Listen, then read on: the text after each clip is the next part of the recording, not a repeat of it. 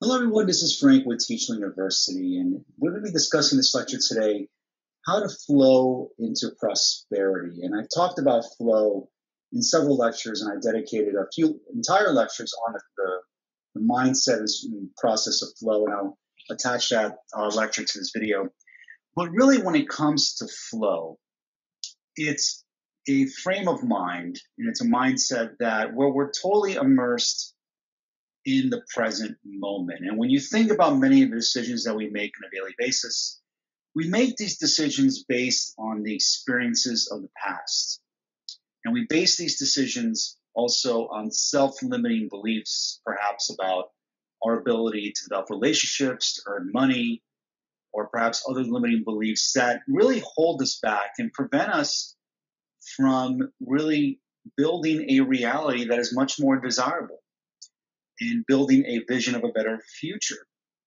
Because we're operating on a state of survival where we're all, where the decisions that we make or the actions that we take in the direction of what we want is based on the feelings of lack and scarcity and anxiety and fear.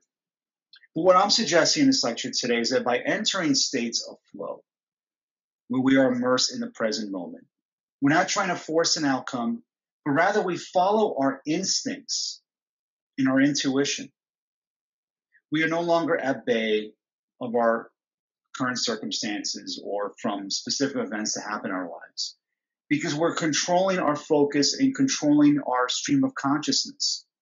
When we focus more on the higher mental faculties and the powers within us to live a better life.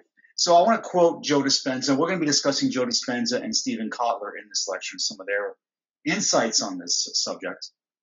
Joe Dispenza says that to be happy with yourself in the present moment while maintaining a dream of your future is a grand recipe for manifestation. When you feel so whole that you no longer care whether it will happen, that's when amazing things materialize before your eyes. I've learned that being whole is the perfect state of creation. I've seen this time and time again and witnessing true healings in people all over the world. They feel so complete that they no longer want, no longer feel lack, and no longer try to do it themselves. They let go. And to their amazement, something greater than, than they are responds, and they laugh at the simplicity of the process. What struck me with this quote from Dispenza is towards the end of it, where he says that they let go, and to their amazement, something greater than they are responds. So often we think that we are solely responsible for whatever events or desirable circumstances happen in our lives. And certainly we do take responsibility for what happens. But there are also forces outside of us that are greater than we are. You can call it God, the universe, infinite intelligence, energy, whatever you want to call it. Creative forces that are responsible for the known universe and for our own reality in the world that we live in. And by tapping into this force, this energy, this intelligence, where something greater than us responds. And we can only tap into this energy, this intelligence, when we are in the present moment. When we're no longer trying to force an outcome because we no longer yearn or are under the mindset of lack or scarcity. We are whole and complete. And when we're in the present moment, we also become self aware of this force that is also within us. We become aware, aware of it and we impress upon it what it is that we desire. Where we live in the end, as Neville says, where we act and feel as if our prayers have already been answered. When we operate this way and we act on our instincts and listen to our intuition, self doubt, frustration, indecision, fear seems to fade away because now we are trusting into this force, this force within us, where the decisions that we make are aligned with what it is that we truly want. And when we're in this state, when we're in the present moment, where challenge meets skill, where the, we, the actions that we take then don't create any sort of strife, we're in that zone where we are acknowledging that creation is done, that's when things begin to happen. And that's when our uh, future, our more desirable future for that matter, seems to unfold in front of our eyes. So simply just taking action in of itself is not enough. How often have we taken action, stayed busy, worked really hard, but got nowhere closer to where we want to be? It's when we finally let go and just surrender to this process when all of a sudden what we really want just appear to show up in our lives without uh, for us taking much effort. So it is surrendering and letting go to a greater mind, into a greater power. So Dispenza says then that most change starts with a simple process of something outside of us altering something inside of us. If you begin the inward journey and start to change your inner, inner world of thoughts and feelings, it should create an improved state of well-being. If you keep repeating the process of meditation, then in time, epigenetic changes should begin to alter your outer presentation.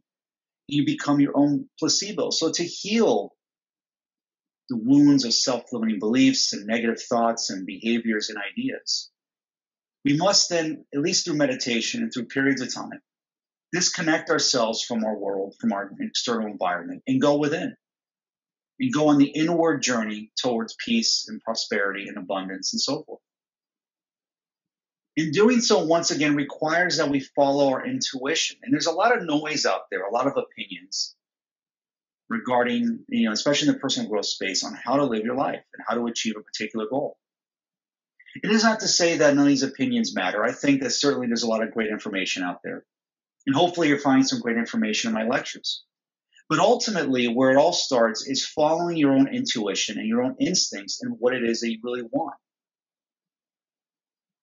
And sometimes the best decision to make or action to take is not taking any action at all.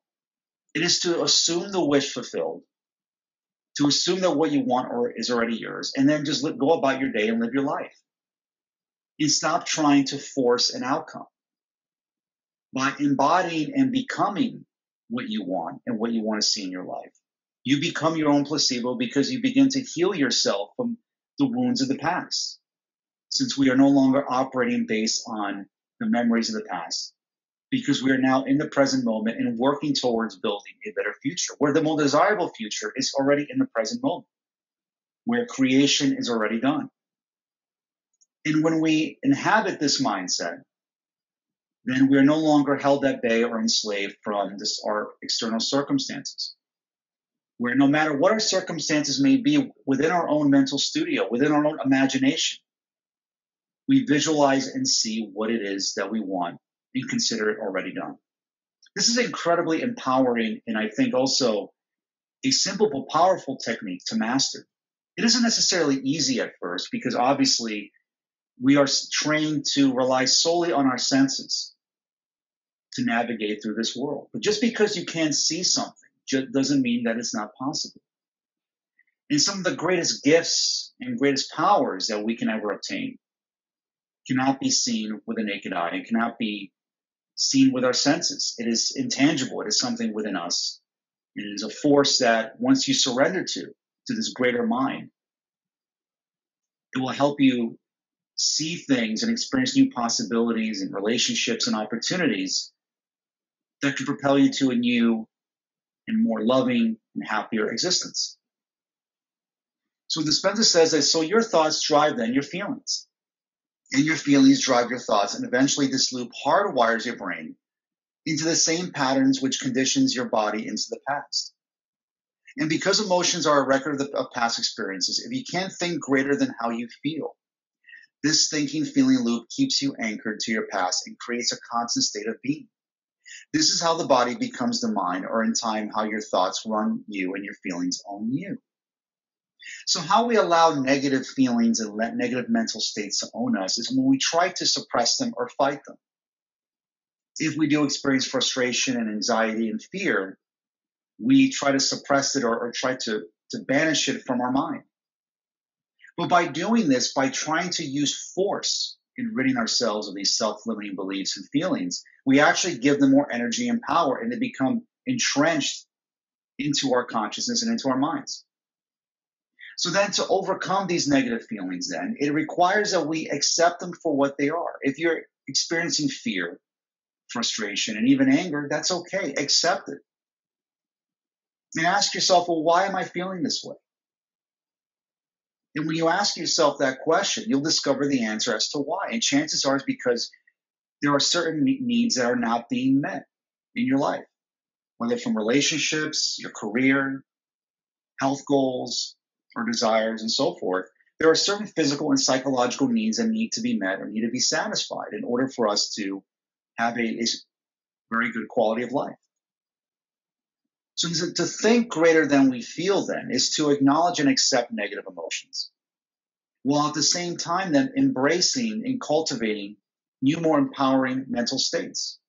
One of them, of course, being in states of flow, when we're in the present moment, when we're acting out on our instincts. And I think when you act out on our instincts, this is often an overlooked skill or really way of looking at ourselves and the world around us.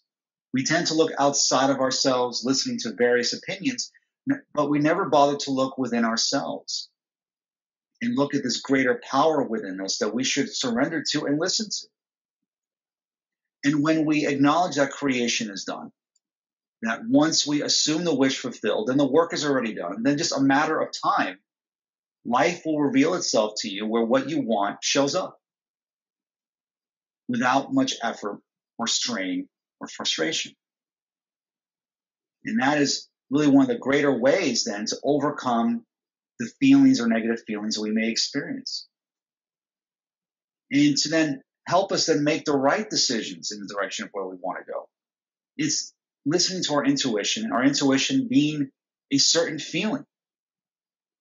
If we feel empowered to take action in a certain direction, maybe it's to make a phone call or send an email or make a decision to uh, apply to a particular school or program or job, we should listen to that intuition. And if our intuition tells us not to take any sort of action in the immediate moment, then we should do that as well. But it's using our feelings as leverage to help propel us to a brighter future. When we overcome these negative states and feelings by accepting them for what they are, and that they are all part of the process of personal transformation. So, to quote Steven Kotler from his book, The Rise of Superman, he says that since flow is a fluid state, act, action state, excuse me, making better decisions isn't enough. We also have to act out on those decisions. The problem is fear, which stands between us and all actions. Yet our fears are grounded in self, time, and space. With our sense of self out of the way, we are liberated from doubt and insecurity. With time gone, there is no yesterday to regret or tomorrow to worry about. And when our sense of space disappears, so do physical consequences. But when all three vanish at once, something far more incredible occurs our fear of death. That most fundamental of all fears can no longer exist. Simply put, if you're infinite and intemporal, you cannot die. I love this quote from Kotler, and I've used it in several of my lectures. I, I think it's extremely powerful for several reasons, which we're going to get into. Let's look at the beginning of this quote, where he says that since flow is a fluid action state, making better decisions isn't enough. We also have to act out on those decisions. Remember what I call in the, in the past few lectures or slides about acting out on our instincts. When we act out on our instincts, we experience less resistance. What creates burnout and frustration and indecision or indecisiveness is when we don't listen to our instincts. We simply act out on what everyone else expects us to do. Or we act out on the suggestions from others, from perhaps social media, from what our friends and family, co-workers, or other people tell us how we should live our lives. And it is these suggestions outside of us that creates the, the most amount of frustration and even resentment because we're following the advice from others who supposedly have good intentions for us, but really deep down, these suggestions, in fact, do the opposite. They go against our own self interest. So to enter states of flow, we must not only make decisions, but make decisions based on our own instincts. Now, I'm not saying that we should listen to every single instinct that we do have. We do have to take some time to think through our decisions. But when the decision that we make will, is, will empower us, will help us move us forward, and is good for us, we should act out on those decisions and not take or waste too much time in making that decision even if the decision isn't necessarily the right one, the fact that you made that decision and is congruent with your own beliefs and congruent with what it is that you want, that is, you, you experience a sense of euphoria because you begin the process of taking control of your life. And more importantly, you begin to enter these states of flow where you don't second guess your decision, you just act. And there are chemicals that are released in the brain when we enter these states of flow, like dopamine, serotonin, norepinephrine, and other feel good chemicals, that when you act out these decisions where challenge meets skill, magic seems to happen. And also another thing that Kotler alludes to, he, it, it reminds me of in Maxwell Maltz's book in Psychocybernetics, where we no longer feel overly self-conscious. We're not worried about our self-image or our, our self-limiting beliefs about ourselves seem to vanish. We're not worried about what other people think. Again, what it goes back to what I was saying. We're not following the suggestions of others rather than we're listening to our own instincts. And when we act out on these instincts, then over time, this will propel us towards a specific goal that we desire. And this could be scary. That's where the fear comes in because when we act on our, on our intuition, we enter the unknown because we're no longer relying on our external circumstances or relying on the suggestions of others as a crutch towards how we think. Rather, we are relying on our own intuition, our own feelings, our own thought processes, and following our heart towards our dreams. And when we do this, when we no longer are self conscious, we're not worried about what other people think, we act down our own decisions, we make the decisions and aren't worried about what other people think. When this indecisiveness fades away, then so does these other negative feelings, such as frustration and anxiety and indecisiveness. But then, as Kotler says, and this fear of death seems to disappear. Because when we're in the present moment, we are at the apex of human existence. As Abraham Maslow says in his hierarchy of needs, the pinnacle of that hierarchy, or the top of that pyramid, is when we are authentically expressing ourselves by acting out on our instincts. And when we do that, we feel invincible. And a lot of athletes, as Steven Kotler interviewed, these high performing athletes like surfers and skydivers and cave divers and so forth. In interviewing them, he found that many of these athletes love getting in these states of flow and were really were willing to to risk serious injury, even death, because when they performed these uh, death-defying stunts, they were in this moment of flow where they felt godlike or invincible. Now, I'm not saying you have to be a high level athlete to enter these states. Quite, quite the contrary. You could enter these states of flow at a moment's notice by making a decision, by taking some calculated risks, and making decisions without the concern of what other people think.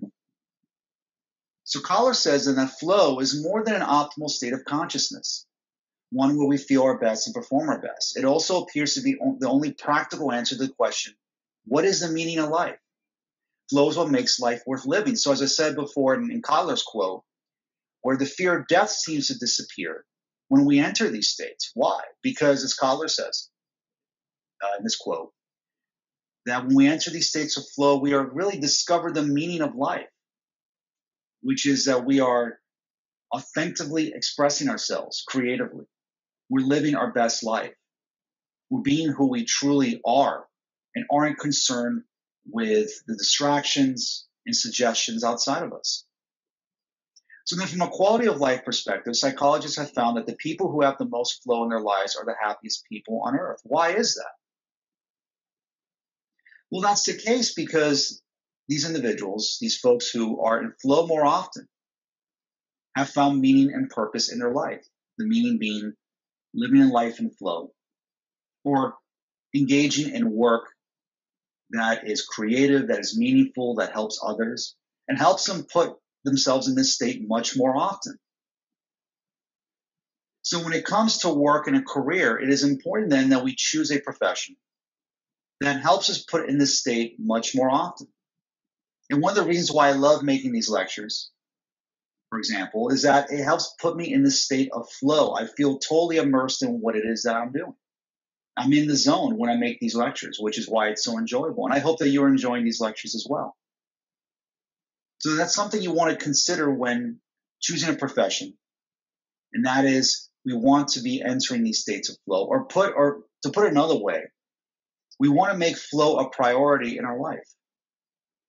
We make flow a priority, and we get into states of flow more often. Magic seems to happen where life or the universe smiles itself upon you, where suddenly new insights, new revelations, new relationships, opportunities, experiences that can propel your career, your relationships, your personal life, your health, etc.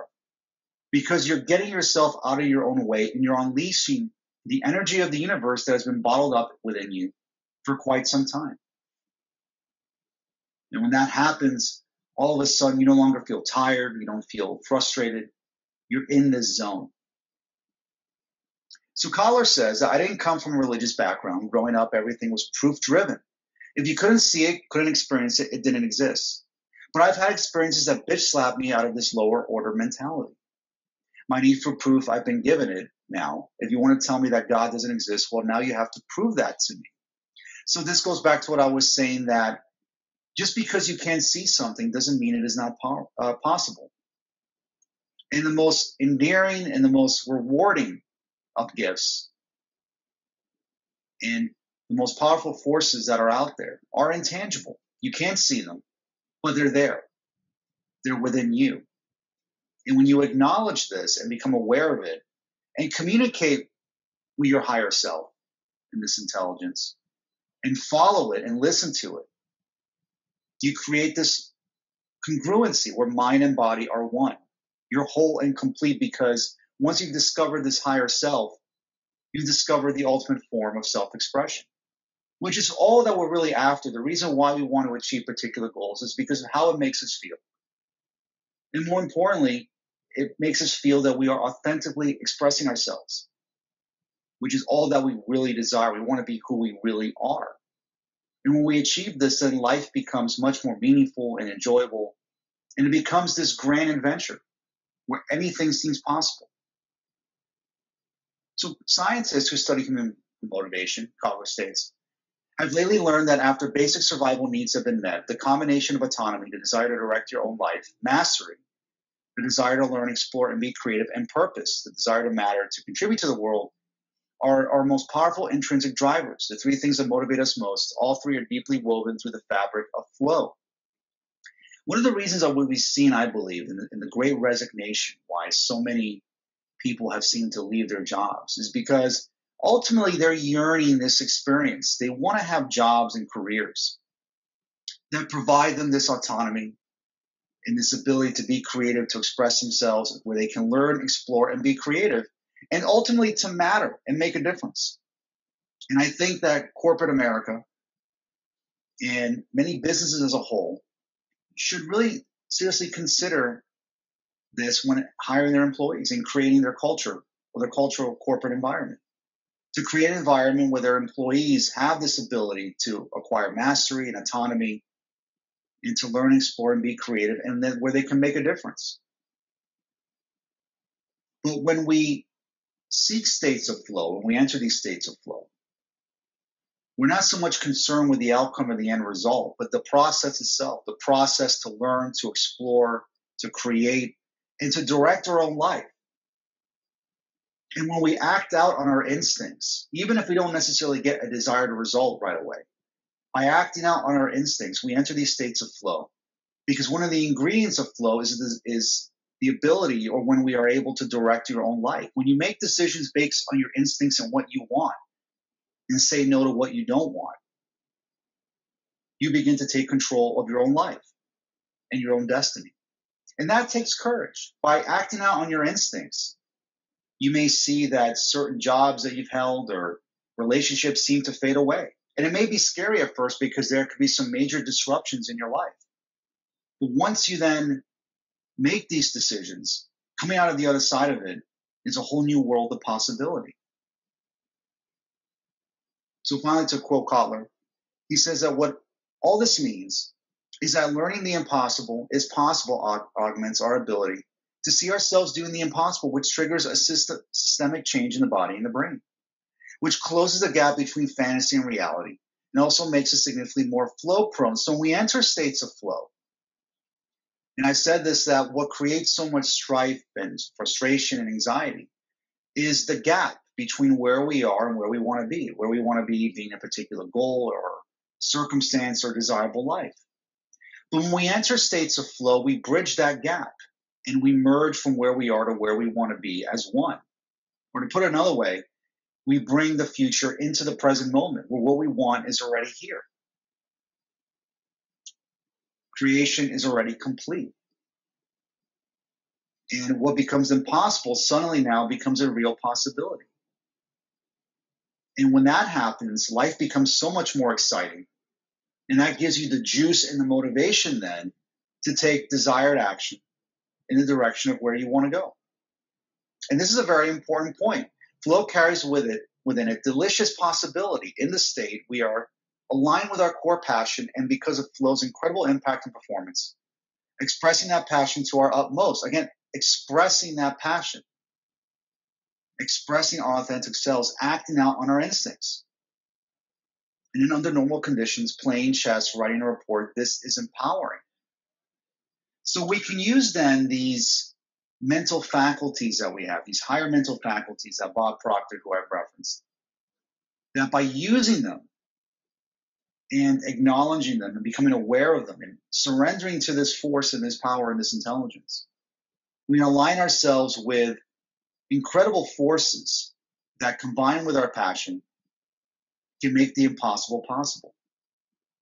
And that's really rewarding. And I can't tell you, I mean, to say that it's empowering is an understatement because this really changes everything once we believe this and utilize this way of thinking suddenly then the problems that we have been plaguing us for so long seem to fade away we outgrow our problems so to quote Mihaly Csikszentmihalyi from his book flow he says that on the job people feel skillful and challenged and therefore feel more happy strong creative and satisfied in their free time, people feel that there is generally not much to do and their skills are not being used. And therefore, they tend to feel more sad, weak, and dull and dissatisfied.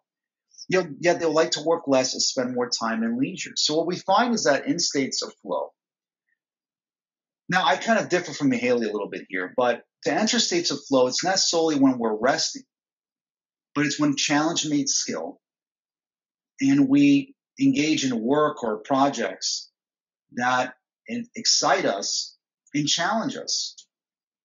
And when we experience this challenge and overcome it, while overcoming our own self limiting beliefs, that's when we enter the sweet present moment. And this, of course, can seem a contradiction where, in fact, we enter these states of bliss and flow more often when we're working than when we're resting. Resting. This can sound contradictory. But there are several possible explanations, as Mihaly says.